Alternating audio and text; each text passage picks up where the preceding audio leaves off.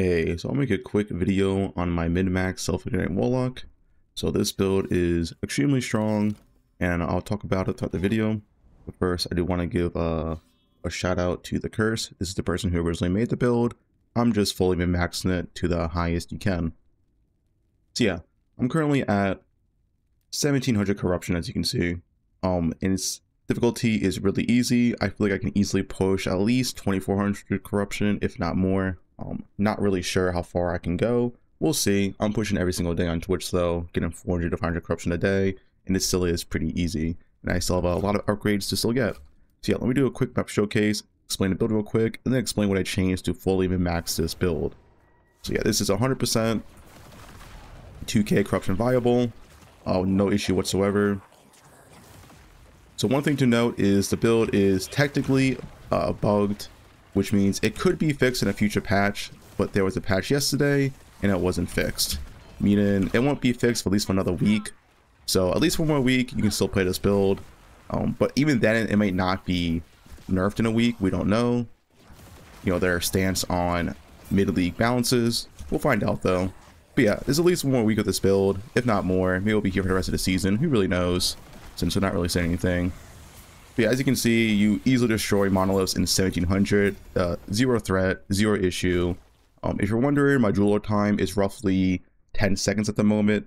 And like I said, I still have a lot of damage upgrades to do. You know, mainly I'm missing crit multi for my weapon, which is like 20% more damage. So yeah, my Julra time, tier 4, is roughly like 10 seconds, which is quite impressive, while also being insanely tanky. So yeah, let's quickly talk about the build. So I'm not going to go over everything because the curse has a full guy on the build. I just want to go what I did to min-max this build to its fullest. So, you know, first things I did was change the passive tree. So yeah, on the Warlock tree, you really don't need these uh, Ward Decay threshold nodes. They're pretty useless for this build because you just have such a massive amount of ward already that they essentially do close to nothing. Um, they're good if the build gets nerfed. So if the build gets nerfed, you probably would want to use these. But yeah, for now, these are useless. Just take points out and put them on something else. Personally, I put them in spell damage for curses. You can also max this out if you take three points out of a curse seer. But the reason why I'm keeping poison here is because the cast speed is very, very nice. It allows you to quickly uh, ramp up because you need to reach 40 ignite stacks, which I'll talk about in a second. So yeah, you can max this out if you want for nine more spell damage for curses. Personally, I just have three points in here, and I maxed out a curse seer. Keep in mind, currently, aspect of death is bugged, so do not take it as it does nothing for the build currently. If you could take it, you definitely would as it's 30% more damage. So outside of that, we are scaling our damage through crit multi-nodes and necrotic resist and intelligence. That's our main sources of scaling. So we're grabbing you know all the intelligent nodes where we can, crit multi-nodes, and necrotic resist on our gear and everywhere. Um, also to note, this 24% more damage um, is massive for the build, and we also get 50% more damage from Profane Veil with Scorn. So the basic build rotation um, is you get 40 stacks of Ignite, you press your Fissure into Bone Curse into Veil. You should always be pressing Bone Curse because this thing is like literally instant cast, as you can see. So there's no reason to never not press this before entering the Veil. So yeah, so you get 40 stacks of Ignite, Bone Curse, Fissure, there you go. Or Fissure into Bone Curse, doesn't really matter it's instant cast. But yeah, so again, Fissure, Bone Curse, Veil. Then you want to stay in Veil for like four and a half seconds to five seconds. Um, essentially want to leave right before the Fissure ends, and then you can build up real quick and go again. And it's like a permanent, essentially, uh, dodge on the Veil as well. And the rotation is really, really smooth. So yeah, outside of that, what else have changed? Um, so this Warlock tree, uh, the Acolyte, I think you can also get the armor here, which might be more EHP than this minion life now. I'm not too sure. I'll have to do the math on it, but I'm pretty sure this is more EHP, so I probably will switch to this. But yeah, outside the Warlock Tree, that's pretty much all I changed. I was taking out these Decay Thresh nodes, getting more end, more damage. You know, and talk about the skills real quick and what I've changed here as well. So for this, I'm not using this as a skill anymore. The reason why is I just don't think it's that good. Um, Transplant is insanely strong, and I'll explain in a second, but yeah, this also wastes two points, which means you lose damage. Ideally, this is level 23. It's level 25 for me because I'm using a plus 3 chest, but you'll see in the endgame version, you only want a plus 1 chest. So yeah. If you take these nodes, you're essentially losing um, damage right here, which is, uh, what is it? Something like a, uh, it's double, so 32% more damage multiplier if you take these two nodes. So yeah, it's why I personally don't like this. You lose a lot of damage. You know, 32% DPS is a lot, especially in these high-end corruptions. So personally, I just don't think it's that good. You lose way too much damage, and the traversal skill this also just sucks, to be honest. Outside of that, the tree is largely the same. I have five points in here just because I have plus in my chest. If I didn't have plus in my chest, uh, this would only be three out of five. Spirit Plague, pretty much the same tree. Nothing you can really change here. And just to explain the self-ignite setup real quick. So you self-ignite um, through Spirit Plague. So Spirit Plague uh, guarantees 5 bleed stacks on you whenever you cast it if you take these 5 points in Extermination. Now, you convert these bleed stacks into uh, Ignite stacks through the Malign's Hubris. So now when we cast Spirit Plague, we get 5 Ignite stacks and 6 because our belt. But yeah, so you're guaranteed 5 Ignite stacks with a chance of 6 every single time you use Spirit Plague because of Malign's Hubris. And why is that important? It's because of the belt. The belt gives you 4 to 6 spell damage uh, per Ignite stack on you, up to 40. Ideally, you really want this to be 6. I don't like these belts and I've not seen a 6, but yeah. Um, ideally, you do want this to be a 6 spell damage. So that is 240 flat spell damage, which is a ton. That is a lot of flat spell damage. So yeah, uh, that's the core of the build and how you're getting all the damage and how you self-ignite. So these five points right here. But outside of that, this skill just debuffs enemies. So I did take three out of three as Pestilence. So this is also kind of bugged, but it sometimes does work. I'm not really sure what makes it not work, but does work. But sometimes you get stacks, sometimes you don't. I've gotten like 13 stacks before. I don't really know what makes it bug and not bug, but I think it is worth the points because it's sometimes to put points in anyway. And you also have Frailty with the skill. That's pretty much it for the skill. Go about Transplant last. So Bone Curse, the only thing I really changed here, I put one extra point in Reaper's Mark. The reason why is this is technically more DPS.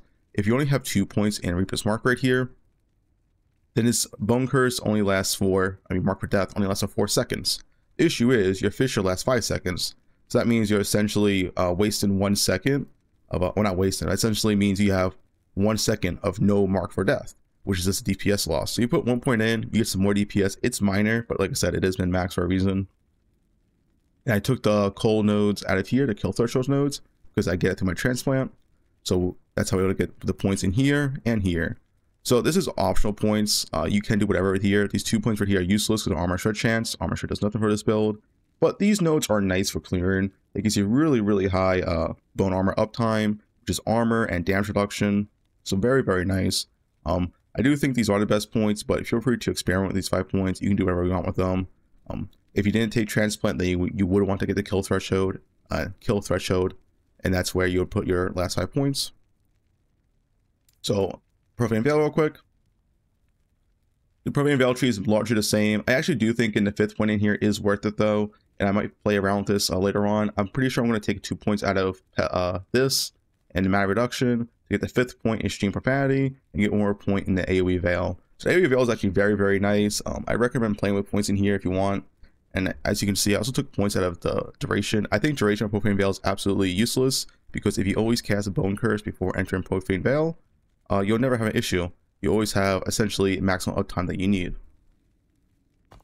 So yeah, um, I took the points out of duration, put into the AoE, and I'm pretty sure I'm going to take these two points out and put one in here to get the max cooldown reduction, and get one in here with an AoE. Because currently, as you can see with the rotation, is that our Profane Veil will not reset in time for our next rotation. It's about like a one second loss. As you can see here, we have 40 stacks, and now Profane Veil's not up yet. But if you had that last node, this last cooldown reduction node, you would have a perfect rotation. See, I'm pretty sure I am going to take this and take these two points out right here. You can also take out the AoE and put it in here instead. Um, if you're un unaware, what, the only thing this thing does essentially is 5% more damage because our Warlock passive tree, a passive bonus. So, but it is two points, so you know, mess around with what you want. I think the AoE is very, very nice. I think having two points in this is extremely nice for clearing. It's not needed for bosses, but it's very nice for mapping. Uh, five uh, percent more damage is good, but it's not necessary. Um, and I think you do want maximum points in here though, which I will change. So yeah, last thing is transplant. Why I'm playing transplant over Ghost Flame. So Ghost Flame is pretty strong, but the problem is you don't have time to use this in rotation, and it's why I don't think it's good for this build specifically for the Ignite variant. If you're all playing a different variant, I think it'll be a different uh, case. But for the Ignite variant, I just don't think Ghost Flame's good at all. So like I said, with the rotation, there's no room to actually use Ghost Flame, as you can see, we're fighting a boss, right, this is going to be a rotation. You start up again, you stuff up, Profane Veil, and it's like at most like half a second to use Ghost Flame for DR, and that's it. It's like I said, it's why I don't think Ghost Flame is good because you have no time to actually use it while fighting a boss. Now you can use it for mapping and does give you nice DR for mapping. But once again, like you don't have time to use it when you're gonna do your rotation. So yeah, that's why I think Ghost Flame's not that good. Transplant's better, and the major things about Transplant is the movement speed. Uh, the movement speed is unmatched. Ghost Flame can't compare to this.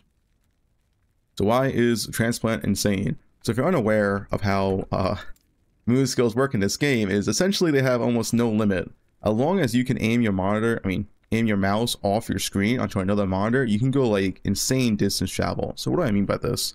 So as you can see right here, if I was to transplant, I'd only go to the middle, right? Like I can't really go that much farther um, directly in the middle. But if you have a second monitor, multiple monitors, what you can do is you can aim your mouse off the screen onto your second monitor and then hit transplant and go double the distance as you can see right there. Uh, yeah, this is why moving skills in this game are absolutely absurd. You can travel such large amounts of distance as long as you have multiple monitors. Now, if you only have one monitor, but you have a widescreen, this still works.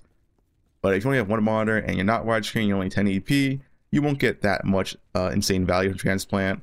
But yeah, I just wanted to mention that. It's why it's really insane, especially for corruption pushing. One thing I've noticed other people have ignored in corruption pushing you really need to go fast. If you're a slow build and you're not going fast, you're not going to push corruption fast, which is bad. You have to optimize for both movement speed, damage, and defense.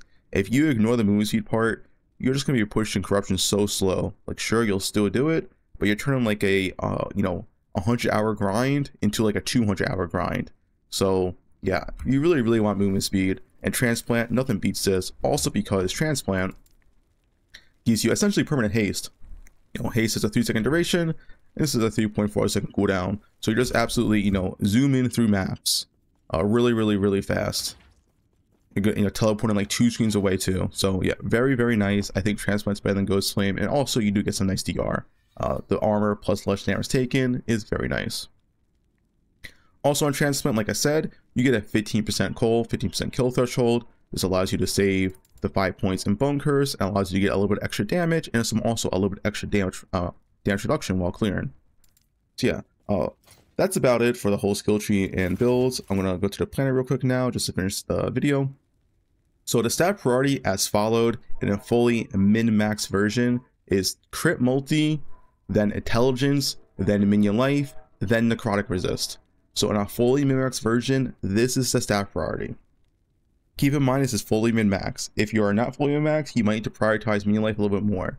I would say vastly, heavily prioritize minion life until you get roughly 1300 to 400%, at which case you should prioritize intelligence more with the ward retention.